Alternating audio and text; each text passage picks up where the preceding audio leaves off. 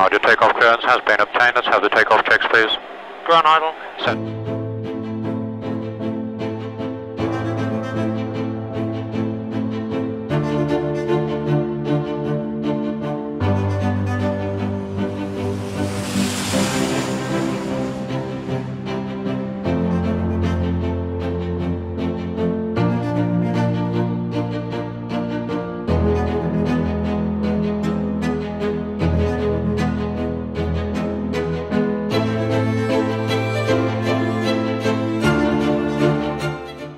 Mention of the mini cockpit this week stormed away in minutes with their Kickstarter.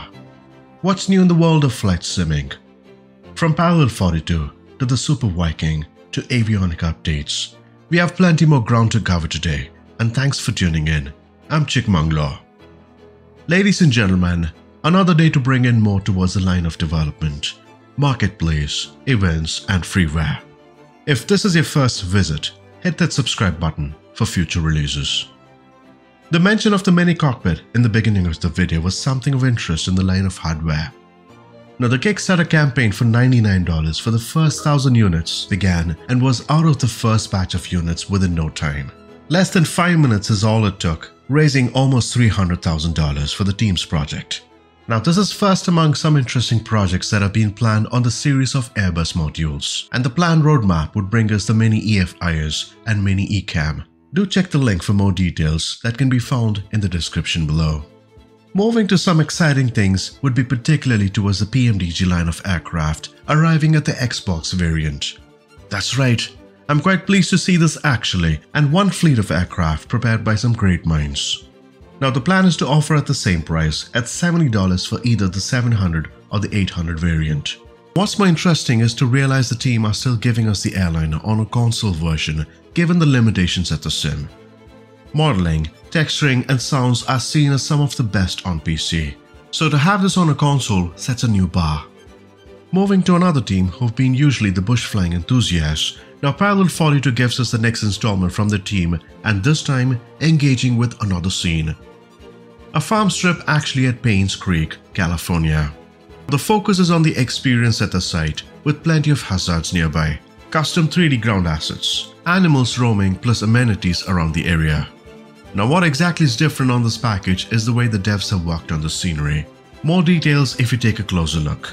Objects that are related to the environment. You see animals here which are animated.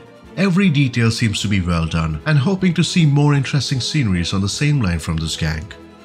Now moving to the airliner class, the newest update from the team show us that they've been working hard on something that'll please a lot of simmers. We're talking about the EFB project from Salty Simulations. The iPad looking tablet looks like it'll come with a number of features and functionality when it's released. Few images that are released indicate that Navigraph charts will be much part of the functionality of the tablet, enabling you to see approach, departure and other charts directly in the sim. At the same time, it does give an idea on what you'll be able to access, which includes a host of other apps, but it's not super clear on what they all will be. We'll keep an eye on the progress of this item as there's more to follow on the release date for the EFB. Before we move further, now Flight Sim Expo is approaching closer than we thought. Less than a month for the event, and this would be the right place to gather some information on what's coming next towards flight simming. Exciting partners, exhibitors, real-world aviators across the world.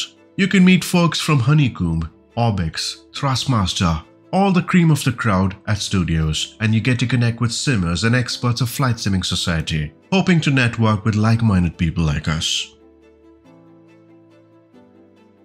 Bendix King KLN 90B a GPS-based navigation system that provides pilots with accurate positioning, navigation and flight planning capabilities.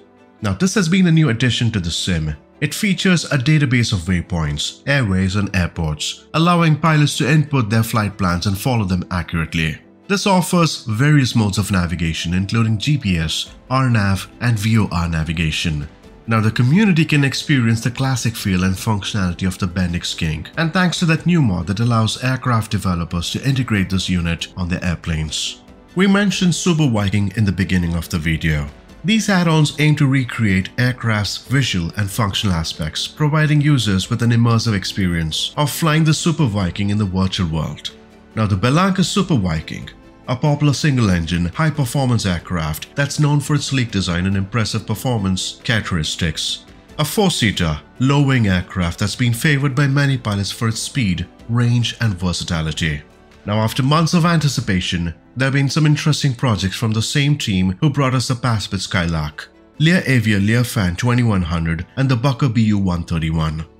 Now this beloved high-performance American aircraft is now available at the marketplace and has been planned as a PC release for now and hopefully see an Xbox release soon. Ground level speaking, the airport featured today from the team of FSIM Studios and Texan Simulations. Now Houston's first commercial airport, sometimes referred to as Hobby or Houston Hobby. This is currently a significant hub for budget airliners such as Southwest. Only 7 miles from downtown Houston, received a 5-star rating from Skytrax in 2022, and this makes it the first airport in North America to achieve that. Now the scenery features 50 hand-model buildings equipped with PBR textures, custom animated jetways, accurate handmade taxi signs, HD custom orthographic imagery and more. Now in addition, the team have made sure that the scenery stays relevant, meaning it reflects the current construction plans, including the removal of a runway. And one thing to note is that Houston Hobby Airport would be the avenue for Flight Sim Expo this year, and definitely something exciting to look forward to. The link to this beautiful airport can be found right here in the description below. In the world of development, another build arrives with patch 1.33.6.0, the third patch addressing few more items off the list.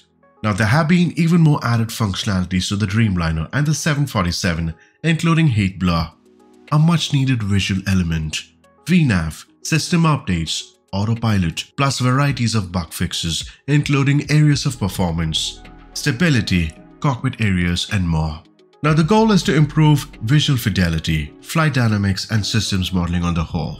In terms of avionics, we plan to see some significant updates this time to deliver a much more realistic and functional cockpit experience. Now the whole goal is to see that the devs have focused on enhancing the accuracy and functionality of avionic displays, autopilot systems and communication systems. On events, now this week, another community event from CD with his gang, plus I'll be part of this exciting Mach Loop event.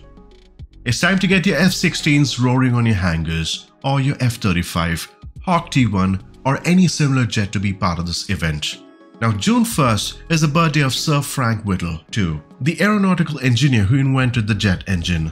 Now the jet is arguably the most important innovation in the field of aeronautics since the Wright brothers' first flight in 1903. The plan is to depart from EGGW onward for a touch and go in between, fly through the famous Mach Loop and get to meet some cool folks. So mark your calendars as the event is tomorrow.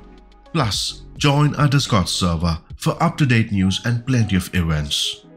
On freeware this week, an airport that appears to be simple but rather holds a lot more detail to it. The Monument Valley Airport, UT-25 in short. The approach cockpit views are stunning, it's only an airstrip in the iconic Monument Valley, Utah.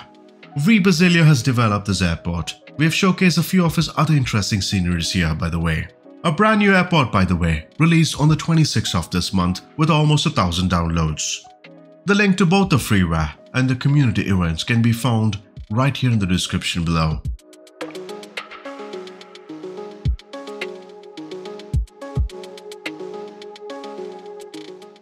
As always, do subscribe for more, and it's been a true pleasure. Until next time, do take care and happy flying.